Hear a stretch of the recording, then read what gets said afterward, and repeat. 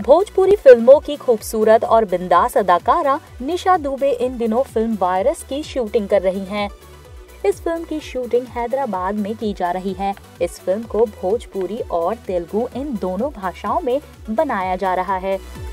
निशा ने हाल ही में इस फ़िल्म के लिए एक गाने की शूटिंग की, जिसमें निशा बिल्कुल ही हॉट अंदाज में नज़र आई। निशा इन दिनों अपनी फ़िल्म वायरस के साथ कावर गाने की रिकॉर्डिंग भी कर रही हैं और साथ ही साथ अपनी स्टेज शो में भी काफ़ी व्यस्त हैं।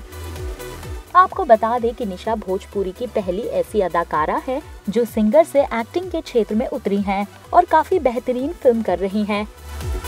राकेश मिश्रा के साथ निशा ने फ़िल्म टकरार भी की है, जिसकी शूटिंग गुजरात में की गई। देखिए निशा की फ़िल्म की कुछ खास फ़ोटोज़